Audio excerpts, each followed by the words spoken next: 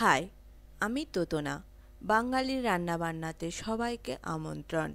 আজ আমি বানাবো ইলিশ পোলাও। এর জন্য আমি নিয়েছি বাসমতি চাল দু কাপ। চাল দশ মিনিট আগে ধুয়ে রেখেছি।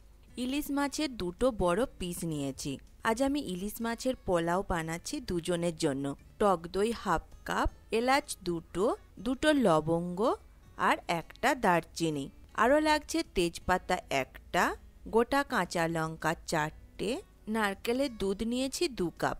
নারকেলের দুধ কীভাবে বানাতে হয় আমার ওয়েবসাইটে দেওয়া আছে। তাছাড়া আরও লাগছে ঘি দু চামচ, সাদা তেল দু চামচ, কাঁচা লঙ্কা বাটা। এখানে একটা কাঁচা লঙ্কা নিয়েছি। আদা রসুনের পেস্ট এক চামচ, চিনি হাফ চামচ, কাজু বাদাম আর কিশমিশ নিয়েছি দু টেবিল চামচ। লবণ পরিমাণ মতো, লঙ্কার গুঁড়ো হাফ চামচ, আর লাগছে দুটো মাঝারি মাপের পেঁয়াজ। পেঁয়াজ গ্রেড করে নেব।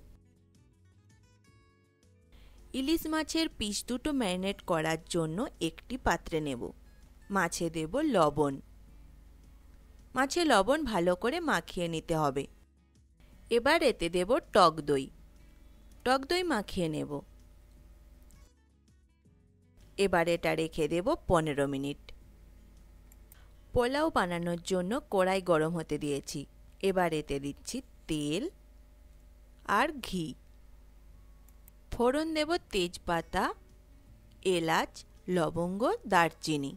তেলের সাথে সামান্য নাড়াচাড়া করে নেব। এবার এতে দেব গ্রেট করা পেঁয়াজ। পেঁয়াজ ভেজে নেব। পেঁয়াজ ভাজা হয়ে গেছে। এরপর এতে দিচ্ছি আদা রসুনের পেস্ট, কাঁচা লঙ্কা বাটা আর লঙ্কা গুঁড়ো।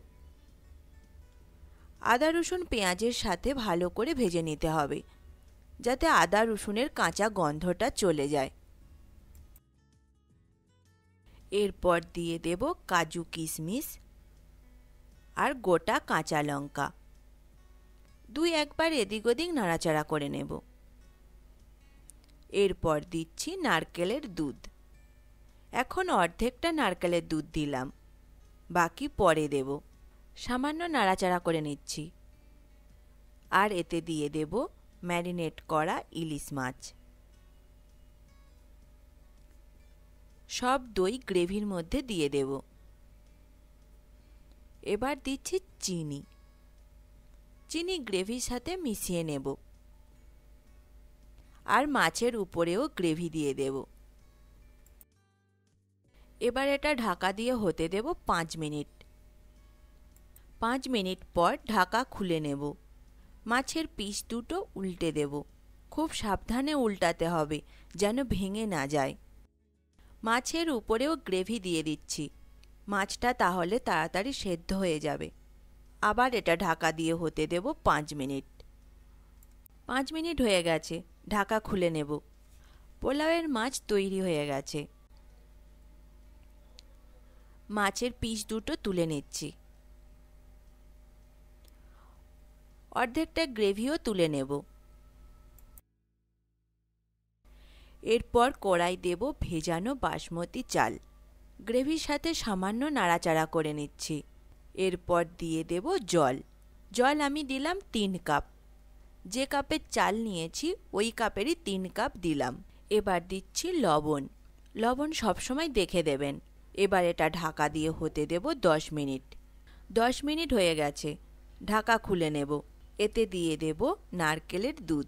নারকেলের দুধ ভালো করে মিশিয়ে নেব। নিচের ভাত উপরে করে দেব। সামান্য একটু গর্ত করে মাছের পিস দুটো দিয়ে দিচ্ছি।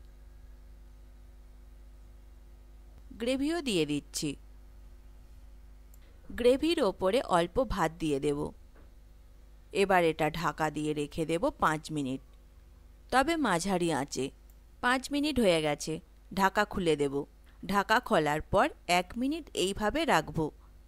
আর মাঝে মাঝে নিচের ভাত উপরে করে দেব, যাতে পোলাও ঝরঝরে হয়। তবে খুব সাবধানে করতে হবে। ইলিশ মাছের পিস যেন ভেঙে না যায়। তৈরি ইলিশ পোলাও।